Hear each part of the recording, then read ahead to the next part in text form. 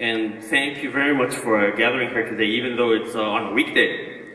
えっと、今日はですね、僕だけじゃなくて、普段グランツリスモを作っている、えーグランツリスモ開発チームの、えー若いメンバーもたくさんこの会場に来ていますので、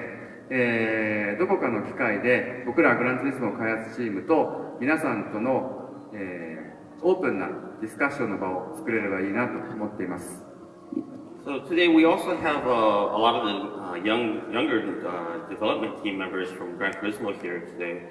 Um, so it'd be great if we have some uh, you know, open discussions with the team and uh, yourselves.